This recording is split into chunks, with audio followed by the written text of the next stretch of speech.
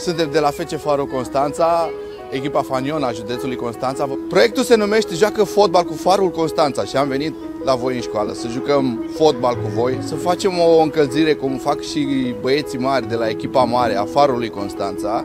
Avem și o echipă de junior cu noi. Uh, vom face un mini antrenament, după care vom juca fotbal, echipa școlii cu Farul Constanța. Facem niște concursuri la final și facem și o poză cu toți.